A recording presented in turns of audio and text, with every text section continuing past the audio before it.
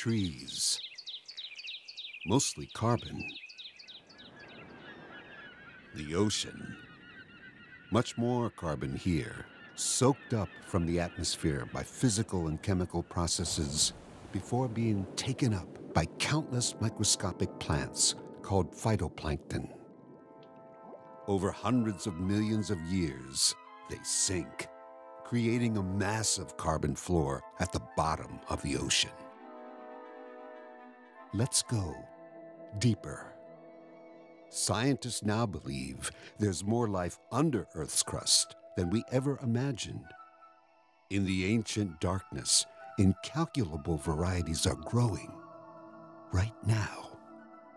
We know less about carbon than we thought, which means there's lots more to discover.